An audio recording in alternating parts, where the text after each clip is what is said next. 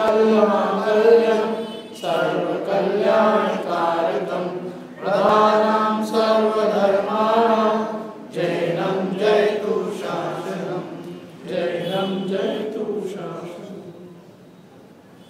श्रावक के अष्टमूल गुण अभी अपना जो विषय चल रहा है, वो थोड़ा अपने जीवन संबंधित चरणानियोग संबंधित चल रहा है। अपना आचरण कैसा होना चाहिए?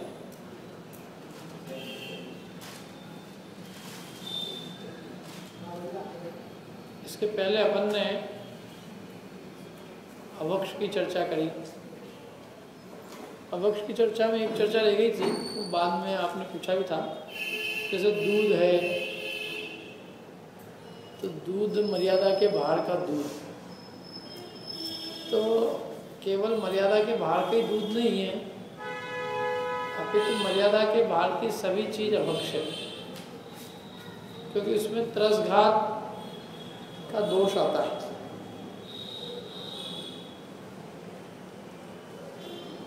हर चीज़ की एक एक्सपायरी डेट होती है।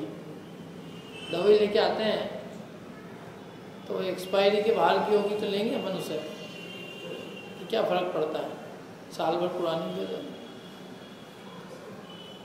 नहीं लेता ना, आदमी उसकी एक्सपायरी देख के लेता है कि यदि एक्सपायरी हो गई है, इसकी तो अभी लेने लायक नहीं है। ऐसे हर एक चीज़ की मर्यादा है। और तो मर्यादा के बाहर वो खाने योग्य नहीं है, अभक्ष है। क्योंकि उसमें मर्यादा के बाहर तरस जीव की उत्पत्ति हो जाती है। और ये जो मर्यादा बताई है, ये सर्वज्ञ देव के अनुसार, सर्वज्ञ देव ने जो अपने ज्ञान में देखी, वो बताइए अब आज तुम उसके विज्ञान से पूछोगे साहब दिखते ही नहीं, तीन दिन बाद मैदा में लट, पाँच दिन बाद या सात दिन बाद। मैं कहूँगा, तुम्हें आँखों से अभी नहीं दिखेंगे। चार पाँच दिन और रखो, फिर दिख जाएँगे। लेकिन वो चार पाँच दिन बाद तो तुमको बड़े बड़े दिख रहे हैं, उसकी उत्पत्ति पहले ही हो चुकी थी। इसलिए उन्होंने जब उत्पत्ति नहीं हो, वहीं से उसका निषेध किया।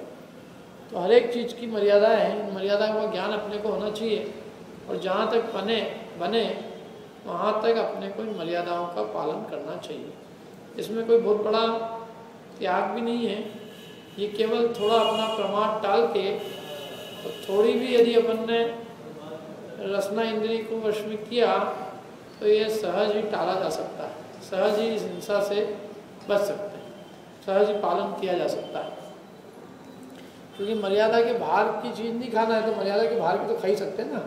तो यदि कचौड़ी खाने की खूब इच्छा हो तो मर्यादा के मैदे की खा सकते हो, आपको दिक्कत नहीं मर्यादा के मैदा हो मतलब मर्यादा मतलब उसकी मर्यादा है कहीं आगम में हर चीज़ की मर्यादा का भी ज्ञान हो। आटा है, मैदा है, रवा है, बेसन है, इन चीज़ों की मर्यादा है।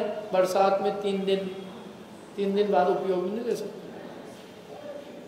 गर्मी में पाँच दिन, ठंड में सात दिन, ऐसी इनकी मर्यादा है। जब चातुर्मास की स्थापना होती है, उस दिन से मर्यादा बदल जाती है। जब चातुर्मास फिनिश होगा, फिर मर्यादा बदल जाएगी। अभी बरसात चल रही है। बरसात की तीन दिन की मर्यादा है। इसके बाद में ठंड आएगी। जिस दिन चातुर्मास निष्ठापन होगा, उस दिन ठंड चालू हो जाएगी। उस दिन से मर्यादा तीन दिन की जगह कितनी हो जाएगी? सात। ठंड चालू हो ठंड के बाद क्या आएगी? गर्म। फागुन की अष्टान का आएगी। फागुन की अष्टान का अंतिम दिन फिर चेंज हो जाएगी तीन अष्टान का आती तीन महीने तीन अष्टान का ये तीन, जो है, मैंने तीन तरह, तीन ऋतुओं के हिसाब से आती है। तीन सीज़न ठंड, गर्मी और बरसात। ये आषाढ़ के स्थान का थी अभी। आषाढ़ महीने की और कार्तिक के स्थान का आएगी। तो आषाढ़ के स्थान का से कार्तिक के स्थान का तक बरसात का सीज़न कार्तिक के स्थान का से फागुन के स्थान का तक ठंड। और फागुन के स्थान का से कार्तिक के स्थान आषाढ़ के स्थान का, वो गर्मी। ऐसा ऐसा। हर अष्टान का में और मतलब वो ऋतु बदल जाती है। मौसम बदल जाता है। तीन मौसम आते ठंडी, गर्मी, बरसात। ऐसा है। कोई बहुत कठिन तो है नहीं, कब कब बदलता है, पता चलता अपने को अष्टान का जाए अगर आटे, मैदे, रवे, इन सब की तीन दिन किए बरसात में, ठंड में पाँच, गर्मी में, ठंड में सात, गर्मी में पाँच, बाकी मसालों की भी ऐसी। पानी है तो पानी, छने पानी की, जो अपन ने केवल छना, छाना है तो छने हुए पानी की अंतर मूर्त और यदि उसमें अपन ने छान के, उसमें कुछ लौंग, इलायची सौंप आदि डाल दी है जिससे कि उसका रंग और रूप बदल गया है। रंग रूप नहीं, रस और रूप। तो फिर उसकी मर्यादा छः घंटे। गर्म कर लिया, जितना गर्म करोगे यदि उबालने जितना गर्म कर लिया, पानी, भात, उबाल, जल, जिसमें भात भी उबल सकता है, चावल उबल सकता है तो उसकी चौबीस घंटे। उबाला है, बारह घंटे। थोड़ा कम उबाला है छः घंटे। ऐसे उसकी मर्यादा है। जैसे दूध है, दूध की मर्यादा है। कच्चा दूध है जब तक गर्म नहीं किया, उसकी मर्यादा अंतर मुहूर्त की गर्म कर लिया, उसके बाद में चौबीस घंटे। गर्म करने में चौबीस घंटे बाद, चौबीस घंटे के अंदर अंदर जामन दे दिया, नया, दही बनाया। जामन देने से चौबीस घंटे तक की दही की मर्यादा। फिर दही से मक्खन बनाया, मक्खन के अंतर मुहूर्त की। घी बना लिया, घी की जब तक स्वाद नहीं बिगड़े, तब तक। घी की सबसे ज़्यादा। घी जब तक स्वाद नहीं बिगड़े तब तक। घी, तेल, गुड़ इनकी स्वाद नहीं बिगड़े तब तक की मर्यादा है। तो मक्खन की बहुत कम है अंतर मुहूर्त अंतर मुहूर्त बाद मक्खन अभक्ष दही चौबीस घंटे, दूध गर्म उबला हुआ चौबीस, कच्चा अंतर अंतर मुहूर्त के अंदर अंदर कच्चे दूध को उबाल लेना चाहिए। इसलिए डेयरी वेरी का जो दूध आता है, वो कोई अंतर मुहूर्त में तो उबलता ही नहीं वो तो बहुत दिन, बहुत देर पहले ही निकल जाता है। तो सब अभक्ष ही एक तरह से। खुद निकाल के और फटाफट ला के और उसको गर्म कर ले तो तो मर्यादा पलेगी। और नहीं तो फिर मर्यादा तो नहीं पलेगी। इसलिए जितना बन सकता है उतना पाले। अपनी अपनी परिस्थिति देख के। पहले समझ लें अभी तो एक बार अच्छे से। यदि पल सकती है तो बहुत ही अच्छी बात है। कोई बहुत ऐसा कठिन भी काम नहीं है, थोड़ी व्यवस्थाएँ जमानी पड़ती है। नमक की तो अंतर मुहूर्त की है। नमक की बहुत खतरनाक है। तीसरे नमक के अंतर होगा सेंधा नमक होना चाहिए, एक तो नमक सबसे पहले ये तो नमक अभक्ष है, ये तो। ये नमक जो है, हड्डी का होता है ना ये, समुद्र के अंदर जो जीव मर जाते हैं, उनकी हड्डियों का नमक बनता है। उनकी हड्डी पानी में गलती है। वही पानी गल गल के वही हड्डी नमक बन जाता है। नमक तो ये वाला तो नमक पूरा ही अभक्ष है हड्डी रहती है समुद्रों के अंदर। समुद्र में असंख्यात जीव मरते हैं। मर के कहा जाते हैं बड़े बड़े मगरमच्छ मर जाते हैं। उनका सारा शरीर क्या होता है? गल गल के वो नमक बनता रहता है। क्योंकि हड्डी में कैल्शियम होता है। नमक रहता है हड्डी में। हड्डी गल के नमक बन जाता नमक सेना नमक होता है पत्थर की खदानों से निकलता है। इधर खासकर पाकिस्तान साइड बहुत खदान है, मुल्तान में। और खदान की खदान है, नमक पत्थर से आता, पत्थर ही एक तरह का। पत्थर पत्थर वही पत्थर ही इस तरह का होता है कोई जीव से नहीं है। पत्थर है, पत्थर में कैल्शियम ज़्यादा है, नमक बन गया सेंधा नमक ज़्यादा फ़ायदा करता है उन प्राकृतिक के ज़्यादा। ये तो इसमें तो बहुत नमक को पानी सुखा के। काला नमक तो क्या पता कैसे बनता है कुछ लोग कहते हैं अभक्षय काला नमक जो है उसमें भी चमड़ा वमड़ा यूज़ होता है क्या होता है। अब तो आजकल पता नहीं पहले तो बहुत समय पहले उसको अभक्ष की कोटिंग में डाला था। उसके बारे में लेख भी आया था सन्मति संदेश में कि बहुत गंदे तरीके से बनता है। हींग भी है काला नमक है। सेना नमक सबसे भक्ष बाज़ार का नमक तो बिल्कुल अभक्ष है। आयोडीन और नायोडीन। कुछ भी हो। सेंधा नमक की भक्ष्य जब कह दिया तो कौन सा आयोडीन का और कौन सा बिना आयोडीन का? सेंधा नमक है भक्ष्य सेंधा नमक खाओ, आपको दिक्कत नहीं अच्छा लगता बल्कि आयुर्वेद तो सेंधा नमक को ही रिकमेंड करता है। उसी के लिए कहता है हर नमक हर चीज़ के अंदर वो सेंधा नमक कहता है। सेंधा नमक उपयोग अच्छा अच्छा। शुद्ध है एकदम पत्थर है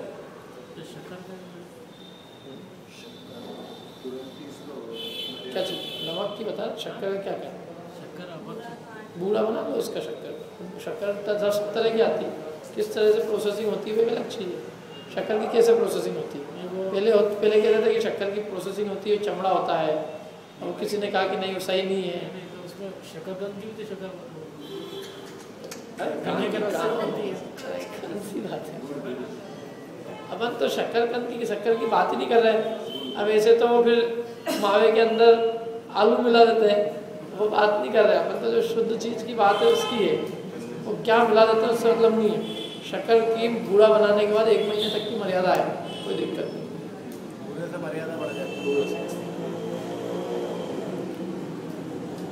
ये बाकी नमक की तो ऐसा नमक की मर्यादा बढ़ाना हो तो उसका एक उपाय है। उबाला उबला हुआ पानी हो उसमें नमक डाल दो। तो पानी जितनी हो जाएगी। पानी? पानी जितनी। उबले पानी की चौबीस घंटे की। तो उबले पानी में नमक डाला और फिर उस पानी को यूज़ कर लो आप। उस पानी से आटा गोंद गोंद दो उस, उस पानी को सब्ज़ी में डाल दो। उस पानी को आप शाम तक उपयोग में ले सकते हो। कोई दिक्कत नहीं। जितनी पहले देखना इसलिए तो कहते हैं अब इसके अंदर जो व्यक्ति ये सब मर्यादा पालेगा उसके लिए रसोई का भोजन और बाहर का भोजन तो बहुत आउट ऑफ़ द क्वेश्चन हो गया। तो संभव ही नहीं। और मर्यादा में रहेगा तो अपने आप फिर जो भी मिल जाए, ऐसा मतलब अपने यद्वा तद्वा नहीं होगा, अपने आप रसना इंद्री संयमित हो ही जाएगी, बहुत कुछ तो। हर जगह जाने, हर जगह खाने के पहले विचार करेंगे, मर्यादित है बहुत सारे इंद्रिय विषय का त्याग अपने आप हो जाएगा। हाँ चौबीस घंटे। दही जो जो दही बनाने की विधि है उससे। दही बनाने की विधि अपनी चांदी डाल के बना लो। नारेटी डाल बादाम डाल के बना लो। चा, चांदी से जम जाता दही। मैंने खुद ने जमाया चा कितनी देर में? बारह घंटे के अंदर। बादाम से? भी जम जाता बादाम बादाम के दही वगैरह में डली हो पहले सूखा लो उसको। वो सूख गई हो कोई दिक्कत नहीं। नारियल नारियल नारियल से भी कर सकते। जो भी आगम विधि है, उसकी पूरी उससे कर सकते हो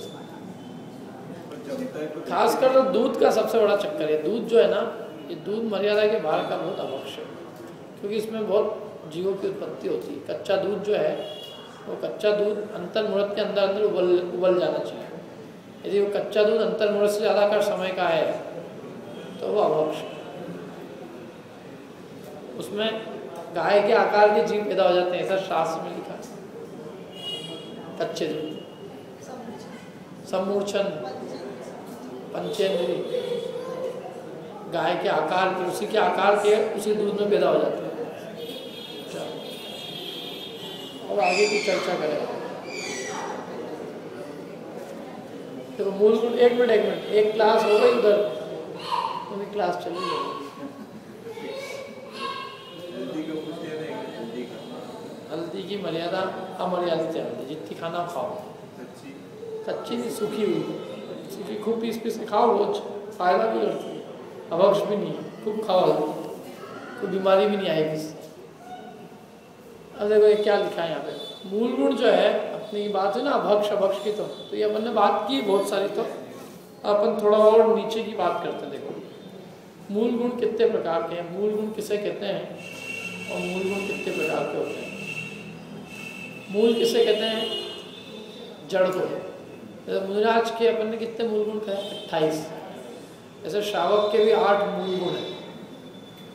मूल माने जिसके बिना उत्तर गुण नहीं होते जो जड़ है उसकी। जैसे श्रावक के कितने मूल गुण हैं? आठ। फिक्स है संख्या।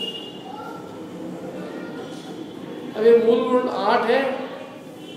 इसमें भी अपन ने दो भेद किए, निश्चय मूल गुण और व्यवहार मूल गुण तो निश्चय मूल गुण तो यह है समस्त पर पदार्थों से दृष्टि हटाकर अपनी आत्मा की श्रद्धा, अपने आत्मा का ज्ञान और अपनी आत्मा में रमणता, लीनता, ये निश्चय मूल गुण।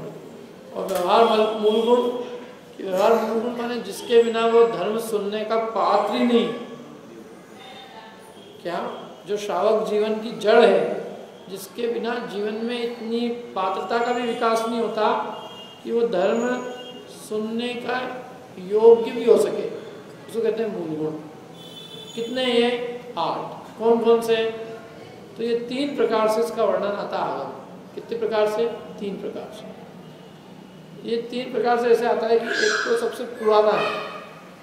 सबसे पहले जो आचार्यों ने वर्णन किया वो, जैसे जैसे कालक्रम से लोगों में गिरावट आती गई तो फिर जो 600 साल बाद जो आचार्य हुए, उन्होंने शाहक के आठ मूल गुणों का वर्णन किया अन्य प्रकार से। और तरक्की की अपन अन्य प्रकार से।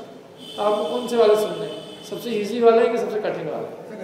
सबसे कठिन से चालू करते हैं रत्नकरण शावकाचार। वहाँ सबसे पहले आठ मूल की चर्चा मिलती है और संस्कृत भाषा का सर्वप्रथम शावकाचार ग्रंथ है वो। क्या है उसमें? देखो, उसका श्लोक बताता हूँ मैं आपको। मध्यमास मधु त्यागे सहाणुव्रत पंचकम। अष्टो मूल गुणानाहु ग्रहिणाम श्रवणोत्तमा। मध्य मास मधु त्यागई मध्य मास और मधु के त्याग के स, मैंने सात। मध्य मास मधु त्यागे स अणुव्रत पंचकम। अणुव्रत पंचकम मतलब? पाँच अणुव्रत हो गए आठ। अष्टो मूल गुणान आठ मूल गुण आहु माने कहे हैं। ग्रहीणाम गृहस्थियों के किन्ने कहे?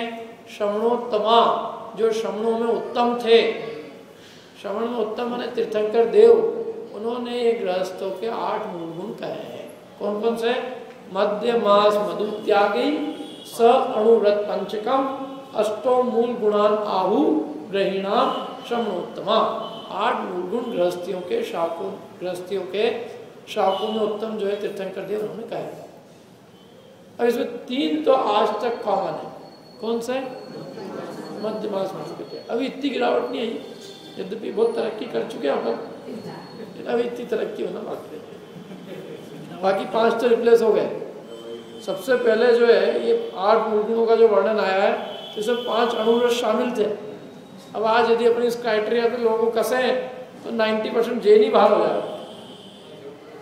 पाँच अणुव्रत अहिंसाणुव्रत सत्याणुव्रत अचौर्याणुव्रत ब्रह्मचर्याणुव्रत और परिग्रह परिमाण अनुव्रत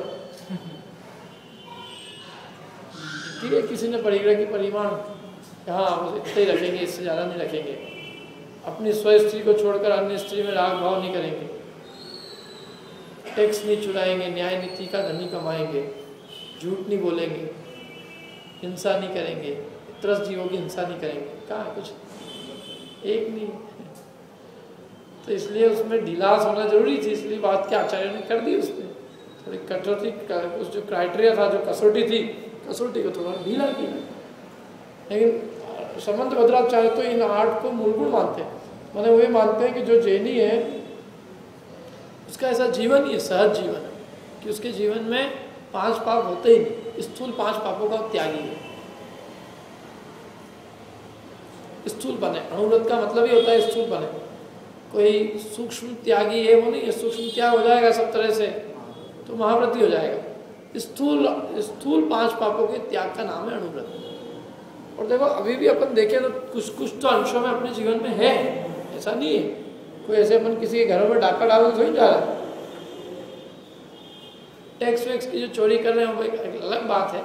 लेकिन हो सकता है कई लोग उसकी भी नहीं कर रहे झूठ जो है, ऐसा झूठ नहीं बोलते हो जिससे अपने ऊपर या किसी दूसरे के ऊपर बहुत विपत्ति आ जाए, किसी के प्राण संकट में पड़ जाए, किसी की आजीविका छिन जाए, किसी की स्त्री का पुत्र का वियोग हो जाए, ऐसा झूठ तो नहीं बोलो परिग्रह का यथाशक्ति जो है परिग्रह के बारे में तो नहीं बोल सकता। न ब्रह्मचर्य अनुव्रत के बारे में न हिंसा अनुव्रत के बारे में बोल लेकिन फिर भी झूठ और चोरी का फिर भी थोड़ा बहुत पालन जो है जैनी लोग आज भी करते होंगे, ऐसा मेरा सोचना है। क्या दूसरा अभी मूल गुण क्यों कहे? देखो, अपन इस पर विचार करते हैं। आज करते कि नहीं करते, एक अलग बात। है ये मूल गुण इसलिए कहे क्योंकि इनके पालन में कोई बहुत बड़ा संकट नहीं है। ये अपने जीवन को सुखी बनाने के लिए। भाई, आप पाँच पाप नहीं करोगे तो आपका जीवन सुखी रहेगा। आप झूठ नहीं बोलोगे, कोई तकलीफ़ में नहीं पड़ोगे। चोरी नहीं करोगे, कोई आपको कोई परेशानी में नहीं डालेगा। क्या? स्व स्त्री सेवन का व्रत रहेगा, पर स्त्री में राग रहेगा स्वयं सुखी रहोगे। आकुलता विकल्प नहीं होंगे। क्या? और फिर दूसरी बात, ये सामाजिक व्यवस्था के लिए भी उत्तम है। यदि हम दूसरे की जेब का पैसा यदि चुराएँगे तो ये समझ लो कि अपनी जेब का भी पैसा असुरक्षित है। यदि अपना पर स्त्री में राग है तो अपनी स्त्री भी असुरक्षित है। अपन झूठ बोल रहे हैं। तो समझ लो सामने वाला भी झूठ ही बोल रहा है। अपन यदि दूसरे को मारने की भाव कर रहे हैं, हिंसा कर रहे हैं तो अपनी भी कोई करेगा? परिग्रह अपन सारा अपनी दुनिया, अपने घर में चाहते हैं तो हर आदमी चाहेगा कि अपने घर में परिग्रह आ जाए। तो इससे क्या है, सामाजिक व्यवस्था भी ठीक नहीं चलती।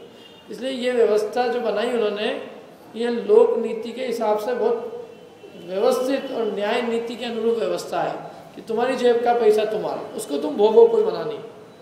क्या जो तुम्हारी ब्याता स्त्री, वो तुम्हारी जो तुम्हारा परिग्रह है, जिसका परिमाण क्या तुम्हारा? सत्य, न्यायपूर्वक, नीतिपूर्वक, आजीविका कमाओ स्थावर जीवों की हिंसा नहीं टल सकती है तो कोई बात नहीं। त्रस जीवों की हिंसा मत करो। संकल्प पूर्वक जीवों को मत मारो। तो ये कोई बहुत कठिन नहीं है। और ये हमारे जीवन को भी सुखी बनाता है और लौकिक व्यवस्था को भी सुचारू रूप से संचालित करता है। न्याय नीति की व्यवस्था बनती है। लोक व्यवहार बहुत अच्छा रहता है और सर्व जीव सुखी रहते हैं। था कभी किसी देश अपने जमा अपने इस देश में किसी जमाने में ऐसा भी लोगों का व्यवहार था? क्या? ये तो अपन ने तो जो भी किया है लेकिन इस देश में मतलब जब उन्होंने इन पाँच अणुव्रतों को मूल गुण कहे तो उन्होंने जब कहे होंगे तो आप सोच लो कि उस समय श्रावकों का जीवन इस रूप होगा। तो उन्होंने उसको मूल गुण कहा है। मूल गुण कहना माने क्या है? मूल गुण का मतलब होता है कि जिसके बिना वो, वो श्रावक ही नाम नहीं पाएगा आगे के गुण की बात ही नहीं करते हम। ये नहीं है, मध्यमास मधु का त्याग नहीं है। तो काय का रात्रि भोजन त्याग तो काय का जमीकन त्याग। कोई उपवास कर ले, मेरे भूख लग रही कि क्या करें? कि चलो कुछ खाना तो नहीं, लेकिन सिगरेट पी ले। ये ऐसे उदाहरण देखे मेरे जीवन तो वो उसकी क्या बात करें, ये क्या बात करें? किसी, कोई, समझ लो बम्बई के अंदर जाए। भूख लगी। जैन जैन जो है, जैन पाव भाजी का ऑर्डर दे में ठीक है, चलो तो ठीक। पीने के लिए क्या करना या एक बियर लिया।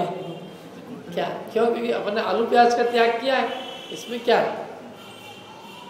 क्या मेरे को, मैं वहाँ अमेरिका में लोग जो मित्र थे, उन्होंने सब बता। ही पाते साहब हम किन किन लोगों के साथ रहते थे?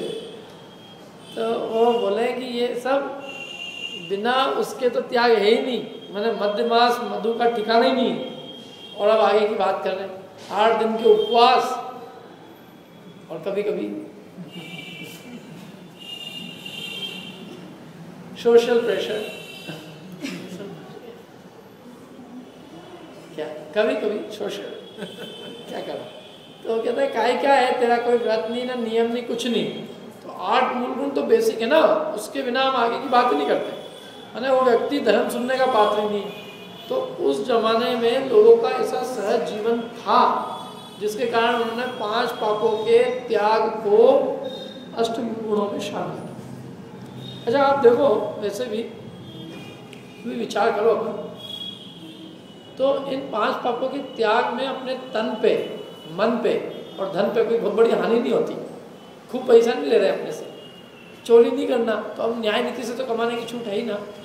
पर अपने स्त्री का मात्र का त्याग नहीं हो सकता तो पर स्त्री छुड़ाई ना अच्छा हिंसा है तो तरस की हिंसा छुड़ेगी स्थावर को तो नहीं छुड़ाएगी परिग्रह का परिमाण कराया, सर्वथा परिग्रह का त्याग तो कराएँगे। इधर को खूब रखना है तो ज़्यादा रख तेरी लालसा ज़्यादा है, ज़्यादा रख लेकिन एक सीमा तो बांधनी पड़ेगी ना।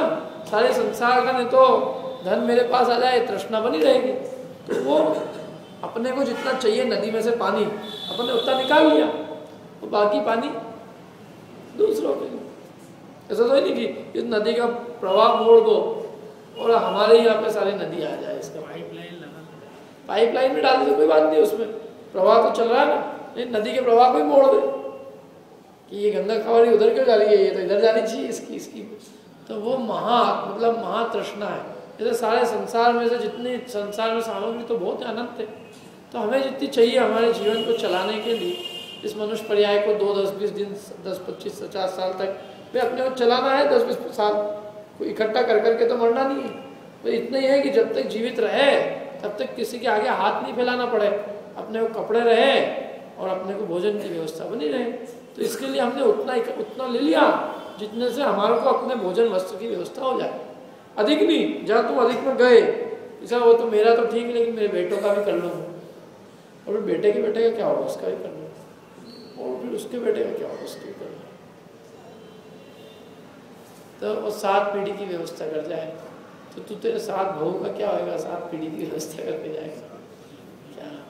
नहीं, ऐसे लोग हैं जो अपनी खुद की तो ठीक है, अपने पोतों के नाम पे, पोतों के लड़के के नाम पे, खुद मरते दम पे एफडी पे साइन कर रहा है पच्चीस साल की एफडी इसकी बीस साल की एफडी दो नंबर का, तीन नंबर का, चार नंबर का, घूसखोरी का भयंकर पैसा रखने की जगह नहीं। कौन हो गया? जो बच्चा हो, उसके नाम कर दो। जो कहीं कुछ भी हो। मतलब इतनी ऐसी आकुलता व्याकुलता कि स्वयं अपनी परवाह नहीं। और आगे मेरे, इसके आगे भी मेरी संतति निरंतर चलती रहे, उसकी चिंता है। तो महाआकुलता है। और दूसरी बात कि पूत कपूत तो वो एक क्या दस दस एफ़ डी रख जाओ तो कुछ नहीं काम आए अच्छे अच्छे चले गए। बड़े बड़े सेठ हुए इस विश्व में। जो जो है, जिनके नाम पे आज भी लोग जो है मतलब जिनके नाम प्रसिद्ध है, जिनके नाम का यशगान आज भी करते हैं उन्हीं की पीढ़ी के ऐसे भी लोग हैं।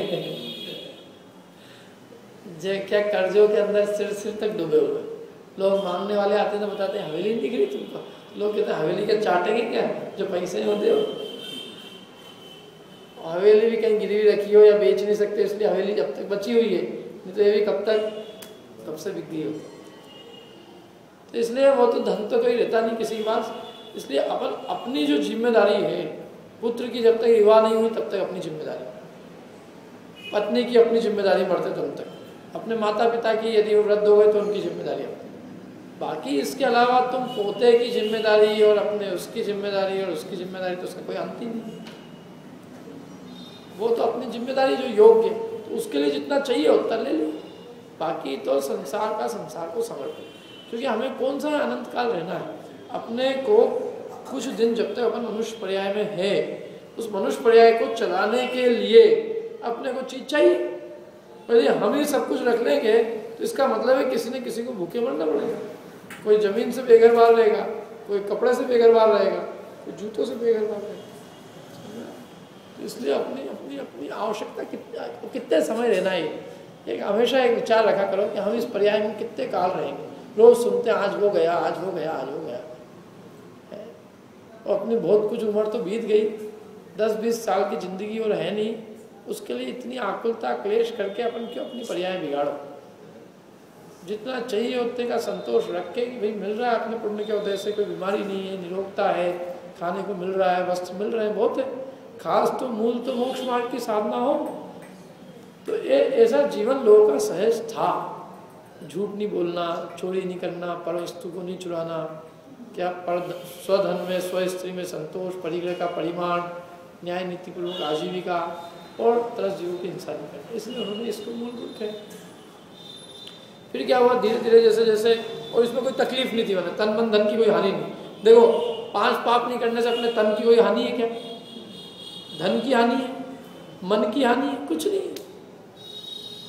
जो आदमी मैंने एक बहुत अच्छा कोट पढ़ा एक जगह, जिस जीव को अन्याय अनिति का एक रुपया भी ग्रहण करने की इच्छा है, उसके चित्त में सारे विश्व का धन ग्रहण करने की इच्छा है। अन्याय नीति का, भाई न्याय नीति का तो ठीक है, हम पूरा लेंगे, लेकिन अन्याय नीति का, वो एक भी, एक रुपये भी हमें नहीं चाहिए। क्या? क्योंकि वो जो है, वो तो फिर सभी चाहिए, फिर वो चाहिए तो मतलब क्या है? मतलब पर वस्तु, पर का धन तुम्हें चाहिए तो पर का धन तो पूरी दुनिया में बहुत है, फिर सबके ही धन पे ग्रहण करने की अभिलाषा बढ़ेगी मैंने वो अन्याय नीति का एक रुपया वो अनंत धन की अभिलाषा को साथ में लेके आया है। क्यों? क्योंकि एक रुपये पर धन, पर का एक रुपया भी आया तो अब ये इच्छा होगी कि पर का सभी मेरे पास आ जाए। यदि तुम्हारी नियत एक रुपये पे गई है तो ये एक रुपये पे नहीं जाएगी, अनंत रुपये पे जाएगी। इसका कोई अंत ही नहीं। जो जो, जिसको कहते हैं ना, बच्चा एक रुपये की पेंसिल चुरा के लाया है, लेकिन वो एक रुपये की नहीं चुरा के लाया है, वो डाकू बनने का संस्कार लेके आया प्रेमचंद जी की कहानियाँ है ऐसी। मैंने अपनी माँ को डांटा और डाकू ने तूने यदि पहले दिन मेरे को पेंसिल छोड़ने से रोक लिया होता तो आज मैं इतना बड़ा डाकू नहीं बनता। सरल सरल कहानी है। तो इसलिए ये कोई कठिन नहीं था, लेकिन फिर भी खैर जीवन में लोगों के परिवर्तन आया। तो ये तो हुई दूसरी शताब्दी के मूल गुणों की बात। रत्नकरण शावकाचार आज से 2000 साल पहले लिखा गया था। फिर उसके 800 साल बाद, लगभग 700 700 साल बाद। जो मूल गुणों की चर्चा आई तो उसमें तीन मत, तीन मत, मकार का त्याग तो वही के वही रहे लेकिन पाँच अनुरत रिप्लेस हो गए। वो जो अहिंसाणुव्रत था उसका एक्सपांड हुआ। तो वो कैसा एक्सपांड हुआ? कि अहिंसाणुव्रत की अनेक भावनाएँ थी तो जो अहिंसाणुव्रत के अंदर ही शामिल थी वो अलग से एक एक मूल गुण बन गए। जैसे अहिंसाणुव्रत की एक भावना है रात्रि भोजन त्याग। तो रात्रि भोजन त्याग एक मूल गुण बन गया। क्या अनचने जल का त्याग मूल गुण बन गया जीव दया पालन, वो मूल गुण हो गया। प्रतिदिन देव दर्शन करना, वो मूल गुण हो गया। कितने हो गए? चार। और एक नया आया, पंच उदम्बर फलों का त्याग। मैंने उस समय करने लगे होंगे लोग, पाँच उदम्बर फल ही खाने लगे होंगे। या लोगों को ज्ञान नहीं होगा। तो पाँच उदम्बर फल उनको एक ही में लिया पाँच उदम्बर फलों का त्याग, ये भी अहिंसा व्रत की भावना है एक तरह से। त्रस जीवों की हिंसा न हो। रात्रि भोजन त्याग अनचने जल का त्याग, जीव दया का पालन और एक देव दर्शन। देव दर्शन ज़रूर ले सकते हैं कि ये अहिंसा व्रत के अलावा। बाकी चार उस अहिंसा व्रत का फैलाव हुआ। मैंने अहिंसा व्रत ने अपने पाँव फैलाए।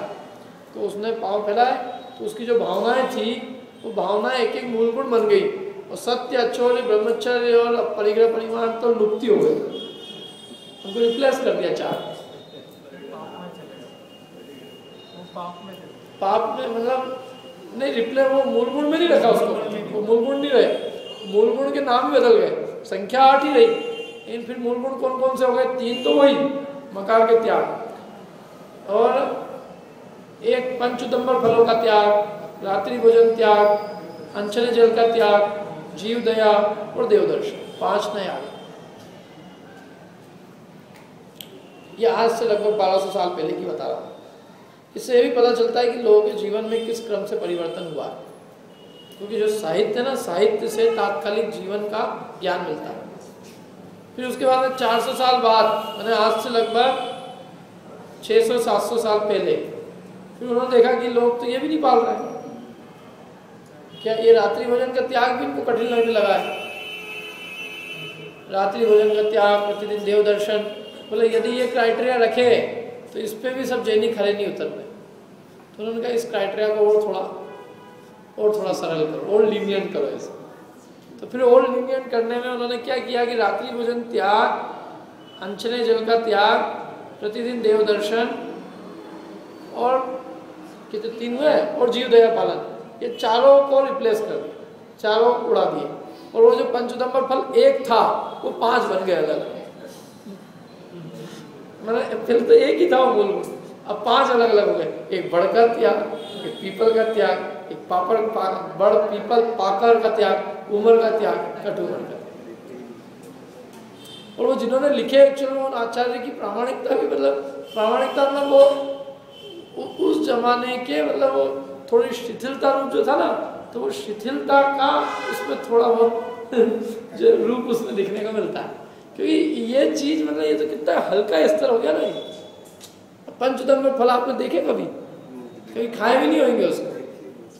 खा देखने की खा, खाने की बात तो दूर की देखे भी नहीं होंगे। कई लोगों ने तो। बड़ का फल पीपल का फल पाकर का फल उमर फल कटुअर तो पाँच तो ऐसे हो गए कि कौन करे उसको? तो आराम से हो गए। वो पाँच अणुव्रत और पाँच ये। मैंने जो पाँच तो कोई जैनी करेगा ही नहीं। उन्होंने गारंटी है। और तीन मकार वही के वही रहे उनमें कोई परिवर्तन नहीं। किसी ने नहीं किया उसको। मध्य मांस मधु का त्याग। ये एक जैसे नहीं। मैंने मध्य का माने शराब, मांस मांस का, और मधु माने शहद। अब यदि आज कोई लिखे तो क्या करे करेगा ओकेजनल ड्रिंकिंग अलाउड और मधु तो मधु कितने जैनी अवक्ष नहीं मानते मधु को। शहद होता है शहद। शहद के साथ दवाई लेते हैं। आयुर्वेदिक जो जितनी भी दवाई होती है ना सब शहद के साथ, शहद के साथ प्रिस्क्राइब की जाती है। और वो शहद महाभक्ष है। चाशनी के साथ ले लेना है तो लेकिन वो शहद का भक्ष है। हिंदुओं में शहद को पंचामृत माना जाता है। जैनियों में नहीं। जैनियों में तो शहद की एक बूंद खाने में सात गाँव जलाने जितना पाप। है कितने गाँव? सात। सात गाँव के आदमियों को जला दो और एक शहद की बूंद खाओ। शहद की बूंद खाने में ज़्यादा पाप। चाहे दवाई के लिए भी।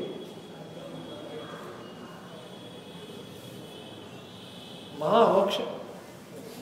मधुमक्खियों का मल, मूत्र, अंडे, बच्चे लाभ असंख्यात रसजीवों की उत्पत्ति उसमें होती है।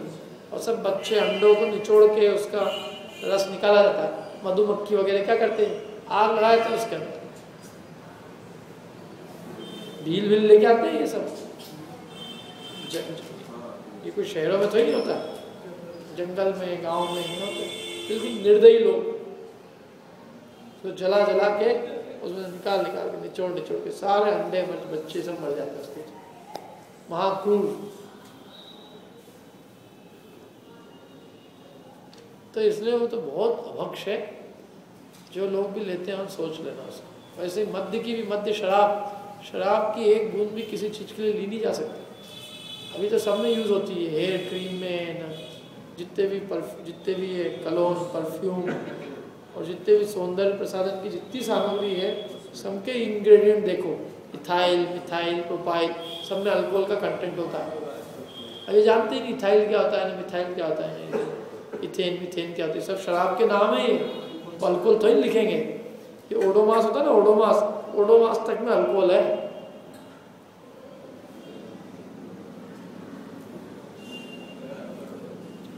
लगाना हो तो वो लगा दो। अमृत धारा। मच्छर काटते हैं लगाना हो मैं भी लगा लेता लेकिन वो शुद्ध है कम से कम। बाकी ये ओडोमास ओडोमास अभक्ष मतलब अशुद्ध है। जिसमें भी शराब दिखे आपको। एक तो बाज़ार की कोई भी अंग्रेज़ी चीज़ ली, समझ लो कि उसमें अभक्ष कहीं ना कहीं घुसा होगा। होम्योपैथिक दवाई तो बहुत अभक्ष होती है कीड़ों से बनती है। छोटे छोटे कीड़े हैं। ऐसा मैंने सुना है।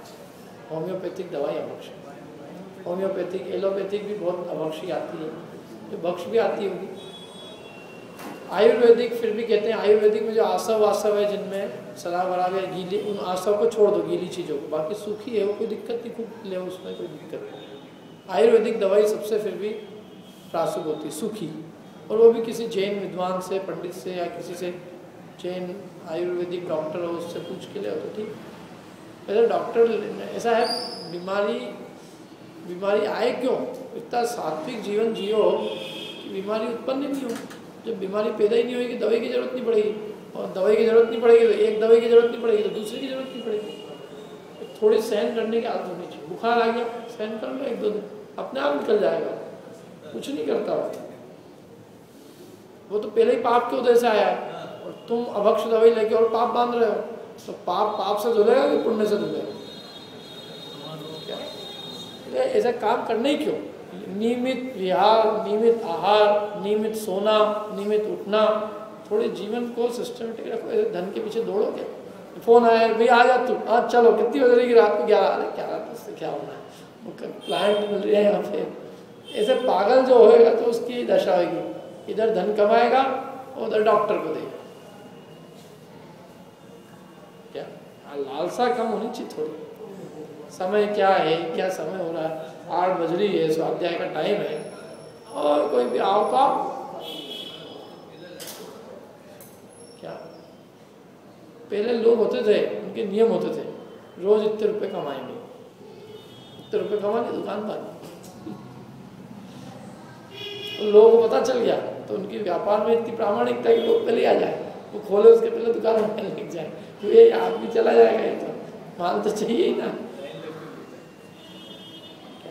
तो ये अपनी तृष्णाओं की बात है। अपने पिताजी और अपने दादाजी और अपने बड़े लोग भी इसी दुनिया में जी के गए और उनने बहुत कम में अपना जीवन गुजारा किया। और हमारे पास बहुत है, लेकिन फिर भी हमारा आकुलता बहुत है। उनसे तो कितना है? सब कुछ है। बहुत सुविधाएँ हैं टूटे फूटे मकान में रहे। जैसे तैसे में। सिंपल एकदम मोटा कपड़ा, मोटा भोजन, सात्विक जीवन, कोई अनाश ना, कोई मतलब प्रदर्शन प्रदर्शन नहीं सिंपल सात्विक जीते थे। तो वो सब चीज़ें बदल गई ना, इसलिए त्याकुलताएँ भी हो गई। जितनी जितनी उसमें जाओगे प्रदर्शन में तो उतनी आकुलता तो रहेगी नहीं।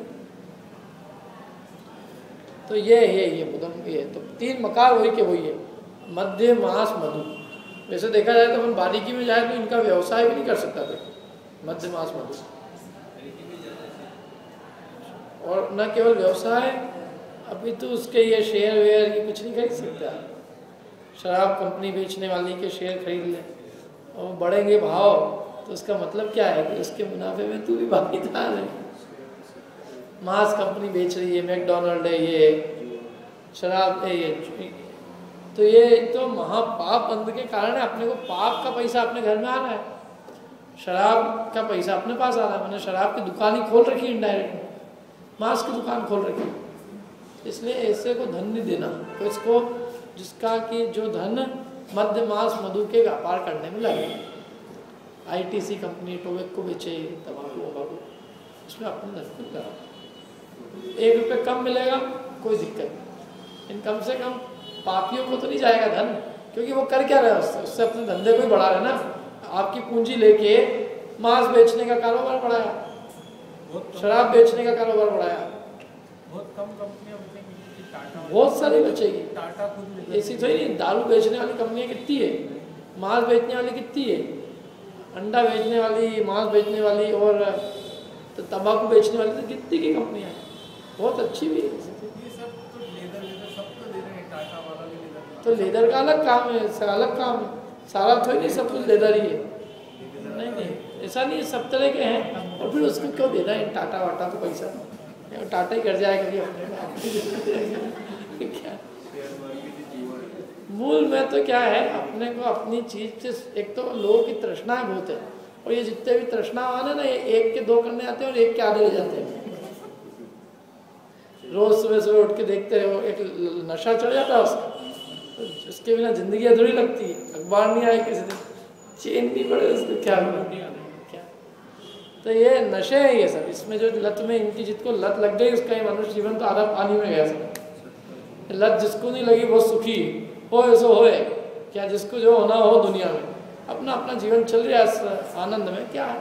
और जहाँ इनकी लत लग गई सट्टे की लत जुए की लत सबसे खतरनाक लत है। इसमें भी आएगा अष्ट मूल गुणों के बाद में सप्त व्यसन ये व्यसन की, एक भी व्यसन की लत है जिसको कोई भी व्यसन की, जुआ खेलने की शराब पीने की तो लत लग गई तो मतलब वो तो गया, उसका मनुष्य बहुत बेकार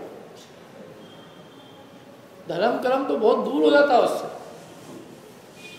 जुआ खेलने वाले का तो चित्त निरंतर जुए में लगा रहता है। क्या भाव है, क्या भाव है? मैंने आपको बताया था पहले एक बार, नहीं बताया था।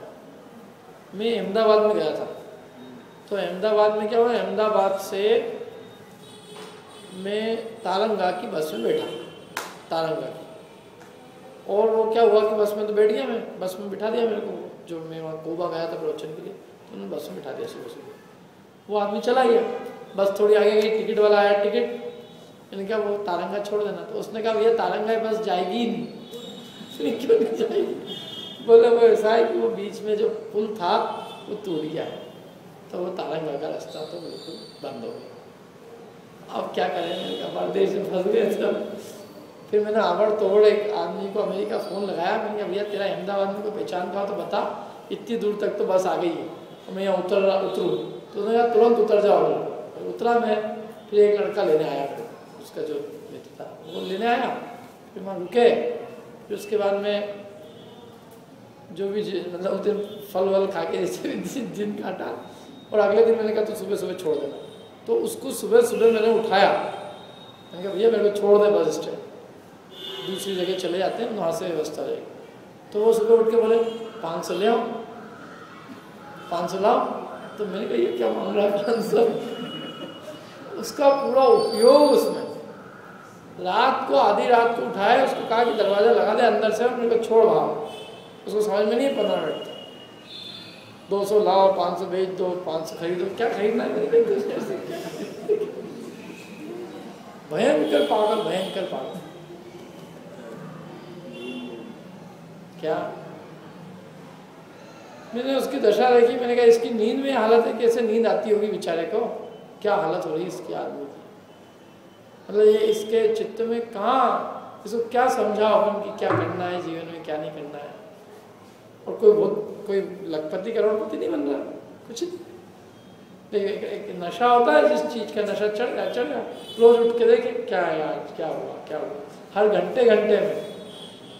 प्रवचन हो तो प्रवचन कर सुनना एक तरफ़ रहे तो चित्त में ही दौड़ता रहेगा इसका ये इसका ये। तो ये सब बेकार लगते हैं। नहीं लगी अच्छी। ये है चाहे सोना चांदी का है चाहे वो क्या क्या होते हैं दुनिया में। कमोडिटी क्या है? जो भी है मतलब ये सब जो नहीं पड़ी तो सुखी। लत लगी तो गए तो तो लती तो अपनी बात तो चल रही थी कि मध्य मास मधु की कंपनी होगी, उसमें नहीं डाल सकता। और मध्य मास मधु किसी भी रूप में नहीं ले सकता। यहाँ तक कि ये जो अपने जैसे टेंट हाउस के बर्तन वगैरह होते हैं ना तो ये बर्तन वगैरह के अंदर कोई गारंटी तो ही नहीं कि वो सब शाकाहारी परोसा गया हो उन बर्तनों उन बर्तनों में मांस भी परोसा गया हो। उन्हीं गिलास में शराब भी परोसी गई हो तो अब अपन तो उस गिलास में पानी पी रहे हैं आराम से। इन वो गिलास तो सबको ही गई थी तो उसी गिलास में दारू भी वितरित हुई है और उसी गिलास के अंदर पानी भी आया।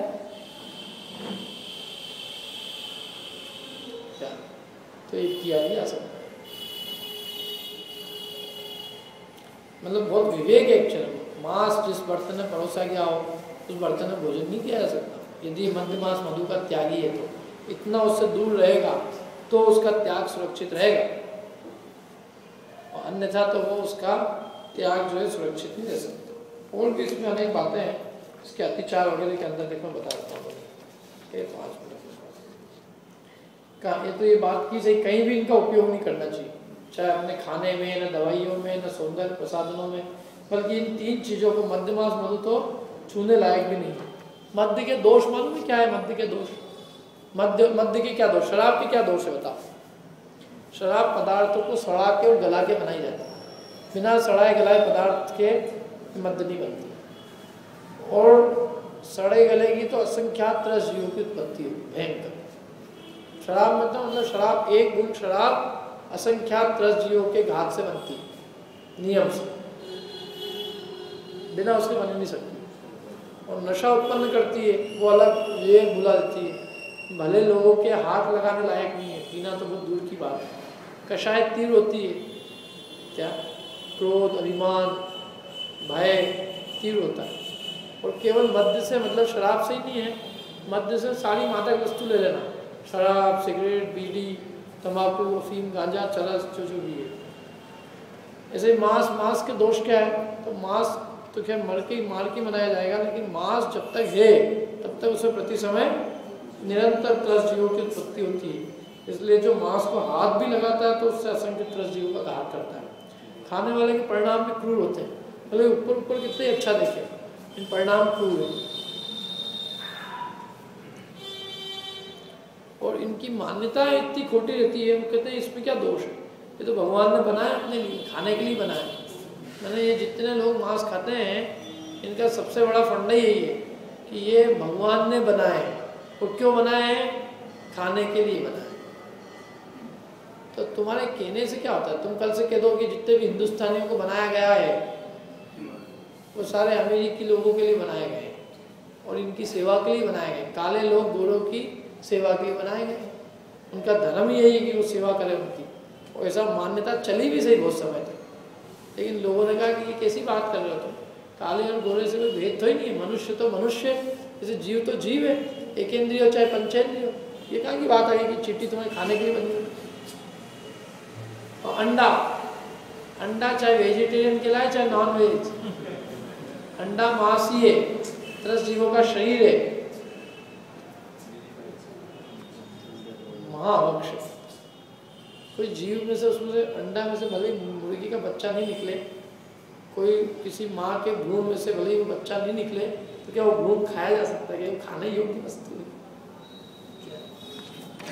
इसी प्रकार मांसाहारी होटल में किसी भी स्थिति में खाना महाभक्ष पंच फल के क्या दोष है? पाँच उदम्बर फल के। इसके अंदर चलते फिरते स्थूल तरस जीव दिखाई देते दौड़ते हुए, फोड़ो इनके।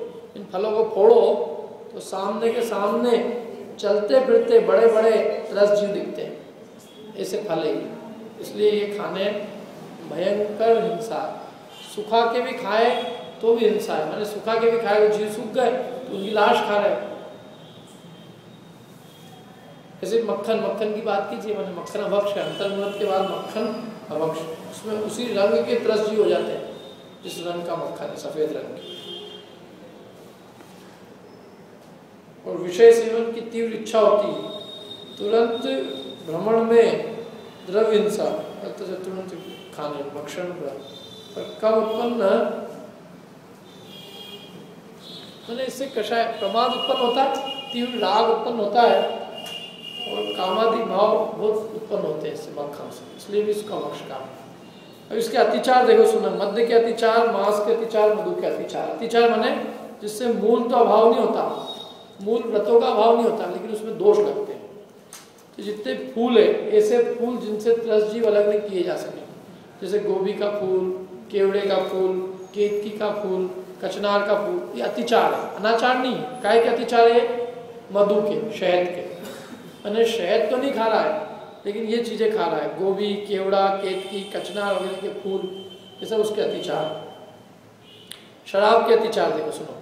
सब प्रकार के अचार, मुरब्बा, सभी प्रकार के जो उसकी मर्यादा के बाहर के अचार, मुरब्बा, मर्यादा के बाहर का दही, छाछ, शरबत रू अफजा रसना, खजूर का रस, फूली हुई चीज़ें, फूलन आ जाती ना जिन चीज़ों में, वो मध्य के अतिचार में, शराब का अतिचार है फूली हुई जिसमें फूलन लग गई, रस जीव पैदा हो गया उसमें, सड़ा हुआ मांड मध्य पात्रों का भोजन, जिस पात्र में मध्य परोसा गया हो, मध्य पाई के हाथ का भोजन तो कुछ शराब पीता हो, उसके हाथ का भोजन। जितने वेटर है, उनके हाथ का भोजन। मांस के अतिचार से देखो चमड़े में रखा हींग, अब तो खैर यूँ कोई रखता नहीं है। चमड़े में रखा घी, तेल जला दी। स्वाद से चलित भोजन, जिस भोजन का स्वाद बिगड़ गया, बास आने लग स्वाद बिगड़ गया।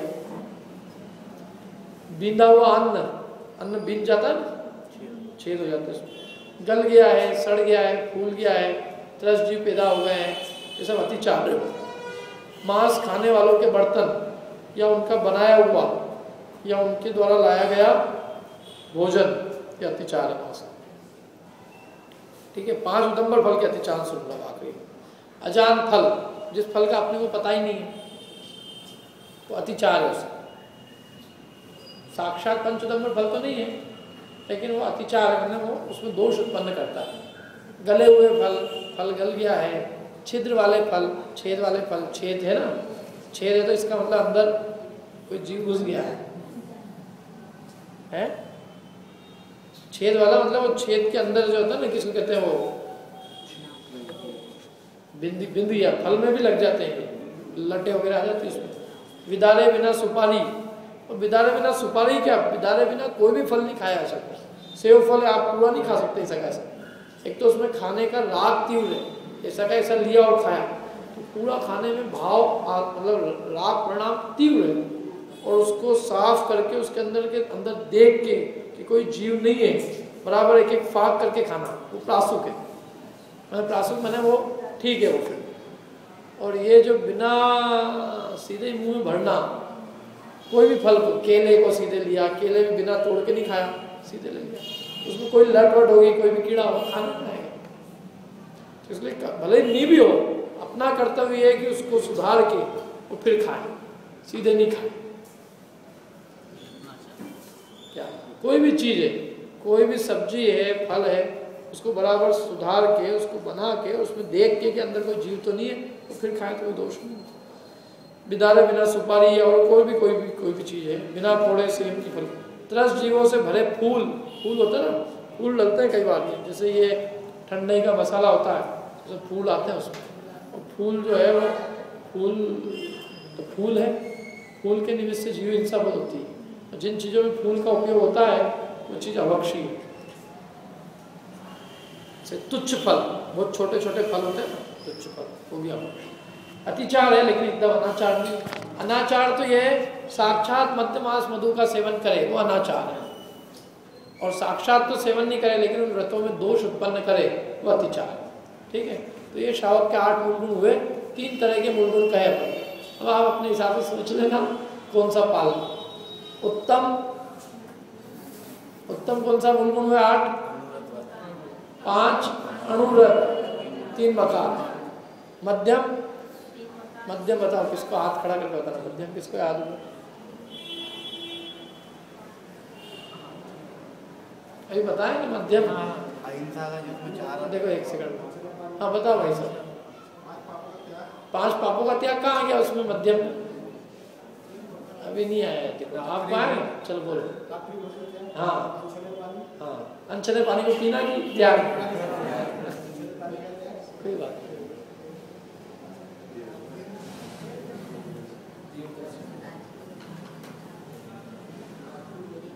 बताओ चलो भाभी जी आप ही बताओ। आप आपको याद है? बोलो। हाँ। हाँ हाँ। नियमित देव दर्शन हाँ। रात्रि भोजन का त्याग हाँ। तो ती- छः हो गए। दो बच्चे जीव दया। और पाँच दम्बर पर ठीक है ये आठ है। बस। कितने कर रहे हैं? अपन देख लेना उसमें से। ये मूल नहीं होएँगे तो उत्तम नहीं होएँगे। अब अपन जगन्य नहीं कर सकते तो मध्य उत्तम नहीं कर सकते तो मध्यम तो कर ही सकते ना। और जगन्य तो सबको याद हो गए पाँच उदम्बर फलों का त्याग